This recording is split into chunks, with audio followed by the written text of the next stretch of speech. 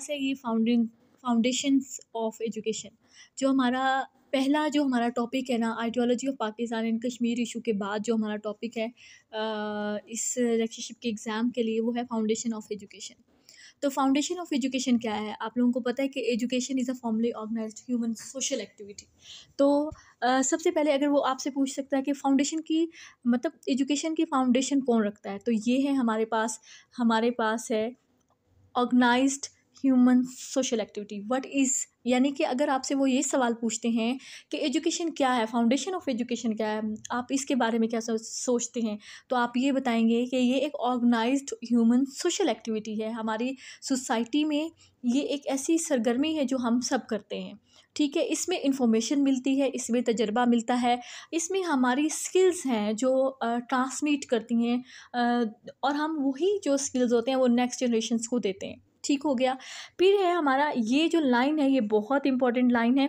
इसको, इस लाइन को करने से आपका दो क्वेश्चन हो जाएँगे। नंबर वन टू क्वेश्चन आपसे वो एजुकेशन के हवाले से पूछते हैं। नंबर वन के आप फाउंडेशन ऑफ़ एजुकेशन आपके हवाले से क्या है? नंबर टू उनमें उससे आप क्या हासिल करते हैं? और नेक्स्ट जनरेशन तक आप उसको कैसे प्रोवाइड कर सकते हैं? इसमें आपके तीन क्वेश्चन हो जाएँगे। नंबर वन कि एक सोशल एक्टिविटी है नंबर टू वो इन्फॉर्मेशन एक्सपीरियंसिस हैं एंड स्किल्स हैं जो ट्रांसमिट करते हैं हमारी नेक्स्ट जनरेशन के लिए ओके okay. उसके बाद वो एक बात चीज़ करता है it is a sensitive activity yes वो कहते हैं कि ये सेंसिटिव एक्टिविटी है जो होती है उसके बाद वो कहते हैं, ये हमारे एकेडमिक जो एक्सीलेंसीज होती हैं बिटवीन द टू जनरेशन यानी कि देखें जैसे आप, मैं एक उस्ताद हूँ, आप ये बताएँगे, जैसे मैं एक उस्ताद हूँ, मेरी एक्सीलेंसी जो मैंने पढ़ा है, जो मुझे पढ़ाने का तरीका है, जब मैं दूसरी जनरेशन में, मैं अपने से जो छोटी जनरेशन है, उसके अंदर वो डालूँगी तो वो एक जनरेशन दूसरी जनरेशन तैयार हो जाएगी। हम ना जाने कितनी जनरेशन आपका जो एक्सपीरियंस है, आप ये बताएँगे कि हमें पता नहीं, दस साल हो गए हैं एक दस जनरेशन आप कह सकते हैं कि हर साल हमारे पास नए बच्चे आते हैं, उनको हम तैयार करके अगली क्लास में भेजते हैं। तो ये वाली चीज़ एकेडमिक एक्सीलेंसीज हैं ये आपकी जो आप कर रही हैं। चौथा क्वेश्चन हो गया।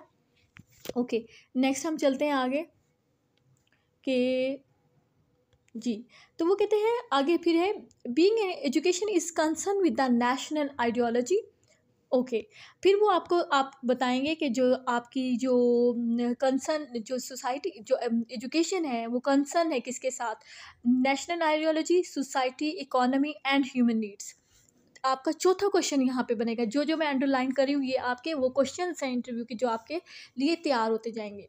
Okay the foundations are taken into the account in the educational activities आपके लिहाज से एजुकेशनल एक्टिविटीज़ क्या हो सकती हैं? हर इंसान सीखता है नो no डाउट उसकी अपनी एक लाइफ होती है, ज़िंदगी को समझने का अपना एक तरीका होता है तो आप उस तरीके से किस तरह देखते हैं कि उस तरीके को, क्या ज़िंदगी को समझने का तरीका उसका क्या है?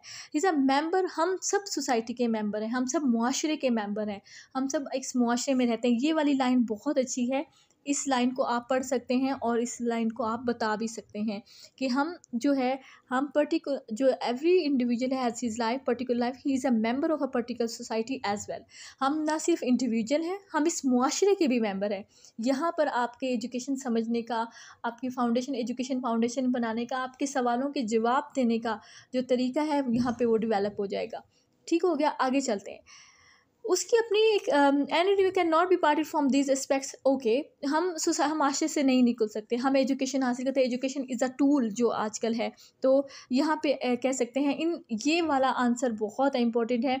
I can say that foundation education are in fact the foundation of life which prove justification and formation to the process of education ये मैं इरेज कर देती हूँ। ये आपको यहाँ पर मैं अंडरलाइन करके ताकि आपको लाइन समझ आ जाए। ठीक है, ये वाली लाइन बहुत इंपॉर्टेंट है क्योंकि because of that this is the conclusion of first paragraph ये आप कंक्लूजन बोल सकते हैं। Foundation of education are the motives okay यहाँ पर वो हमें बता रहा है कि जो फाउंडेशन ऑफ़ एजुकेशन है are the motives and factors which are considered या during the construction and organization of various elements of education यहाँ पर फाउंडेशन ऑफ़ एजुकेशन ये वाली जो चीज़ है आपके लिए बहुत इंपॉर्टेंट है।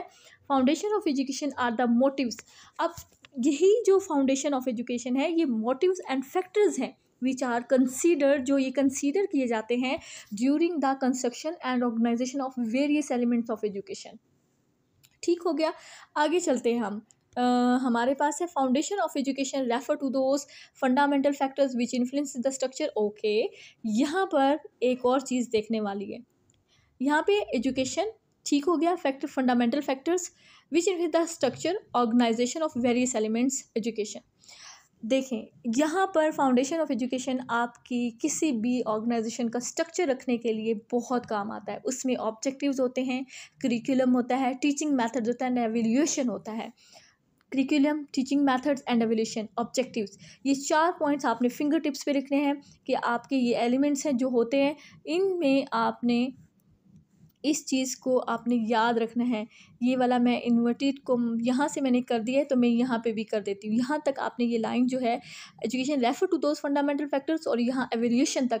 इनमें आपके ऑब्जेक्टिव्स ठीक है curriculum teaching methods and evaluation तो ये चीज़ें बहुत इंपॉर्टेंट है. Foundation of education refer to those aspects of individual okay, यहाँ पर एक और चीज़ आ गई है इंडिविजुअल एंड कलेक्टिव लाइफ आप जब ये बताएँगे कि जब हम माशरे में हर जनरेशन को तैयार करते हैं, हम as a Ustad as a teacher आप तैयार करते हैं तो वो कलेक्टिव लाइफ में जब वो आगे बढ़ते हैं तो वो बेहतरीन एक कंस्ट्रक्टिंग सिस्टम होता है, जिसमें फाउंडेशन बनती है एजुकेशन का एक सोशल फाउंडेशन है। हमारा एजुकेशन जो होता है, वो एक सोशल फाउंडेशन है एजुकेशन एंड साइकोलॉजिकल फाउंडेशन है एजुकेशन का the significant types of foundation okay next यहाँ पे जो है एजुकेशन की हैं, ये बहुत इंपॉर्टेंट हो जाएगा आप लोगों को समझने के लिए भी और इसको आगे दिखाने के लिए भी कि आपके ये जो है टॉपिक तैयार हो जाएगा। Ideological foundation of education yes हमारे हमेशा हर चीज़ का एक नज़रिया भी होता है तो एजुकेशन का जो नज़रिया है आइडियोलॉजिकल फ़ंक्शन जो है फाउंडेशन है उसका तो वो क्या है?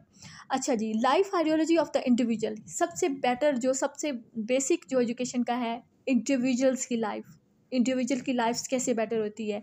Education takes the life of ideology of a nation into account for the acquisition of national objectives वो नेशनल ऑब्जेक्टिव्स तक लेके जाती है। एजुकेशन क्यों हासिल करनी चाहिए? इससे हमें स्किल्स ऊपर हमें मिले। पढ़ा है हमने स्किल्स मिलती हैं एक्सपीरियंस मिलता है सब्जेक्ट्स मिलते हैं। हम उससे अपने मुल्क को as a nation as a nation हम उसको आगे लेके जा सकते हैं। तो ये चीज़ें हैं। आपके क्वेश्चंस यहाँ पर तैयार होते जाएँगे। जो जो क्वेश्चन बनते हैं significantly consider okay philosophical foundation जो है हमारे पास फ़िलासफ़िकल फाउंडेशन है हमारी। जी, ये भी एक है हमारे पास फ़िलासफ़िकल फाउंडेशन है हमारे पास। तो इसको हम देखते हैं, जी, यहाँ पर। फिलास philosophical foundation of education philosophy clarifies of individuals concept regarding man तो यहाँ पर हम देखते हैं कि मैन की जो क्लैरिफाई इंडिविजुअल की और यूनिवर्स की उसके मुताबिक जो होती है, एक फ़िलासफ़िकल फाउंडेशन जो है, एजुकेशन की development of a system of education उसके मुताबिक होता है। आगे हम देखते हैं psychological foundation obviously psychological foundation है. साइकोलॉजी हर इंसान साइकोलॉजी बेसिकली इंसानों से डील करती है, इंसानों के बिहेवियर के लिए होती है. तो इसमें psychology the study of human behaviour and mind उस्ताद से बेहतर कौन होता है? उस्ताद अपने सामने बैठे हुए हमारा स्कूल सिस्टम जो है वो आइडियल स्कूल सिस्टम तो नहीं है जो बताया जाता है किताबों में. हमारे, हालाँकि तीस बच्चों का आइडियल सिस्टम होता है, लेकिन हमारे, ये मैं आपको आंसर भी बता रही हूँ साथ साथ ओपिनियन भी बता रही हूँ ताकि ये आपके काम आए. हमारे तीस तीस बच्चों का आइडियल सिस्टम नहीं है हमारे मुल्क में। हमारे मुल्क में एक क्लास में पचास बच्चा बैठा होता है। एक उस्ताद उनसे डील करता है। एक उस्ताद, हमारे उस्ताद उस लेवल के तैयार हो गए कि वो पचास पचास बच्चों को डील करते हैं।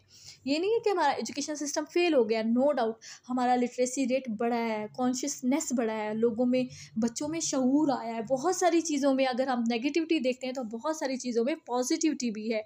साइकोलॉजी, वो कहते हैं, तमाम इंडिविजुअल्स होते हैं very very in interest liking and natural tendencies जो होती हैं, वो बहुत ज़रूरी होती हैं। ठीक हो गया, आगे चलते हैं आप okay social foundation of education the most important social foundation है ये।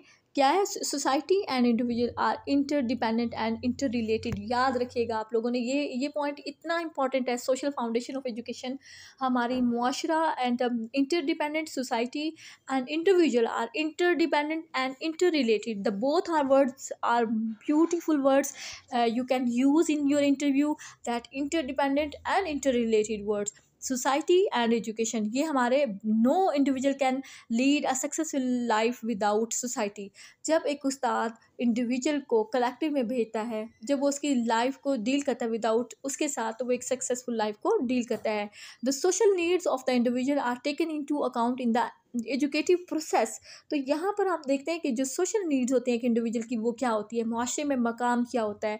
तो हम ये चीज़ें देखते हैं। Education aims at social training of the individual in fashion that enables him a useful citizen it is a beautiful example ये example बहुत the social needs okay, education aims at social training of the individual in the fashion that enables him a useful citizen ये इतनी important है, ये आप लोगों ने ये वाली याद रखनी है, आप इसको उर्दू में भी बोल सकते हैं, आप इसको इंग्लिश में भी बोल सकते हैं।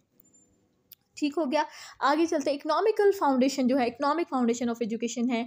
Are individuals engage engage themselves in the economic activity to lead a balance and prosperous life in this regard this is the responsibility of education to develop the abilities of a individual in such a way that very may get be benefit yes economical जो होती हैं इसमें ये आप lines जब पढ़ेंगे तो आपको पता चलेगा एजुकेशन जो है, एक इंडिविजुअल को कैसे पार्टिसिपेट करना सिखाते हैं कि उसे मनी मेकिंग एक्टिविटीज़ में कैसे हिस्सा लेना है, उसकी स्किल्स को मार्केट में कौन सी स्किल्स ऐसी होती हैं, आपकी एजुकेशन आपको बताती है, जिन एजुकेशन उन स्किल्स को आप यूज़ करते हुए मार्केट में जब जाते हैं तो आप उन स्किल को यूज़ करते हुए अपने मनी मेकिंग एक्टिविटीज़ में हिस्सा ले सकते हैं।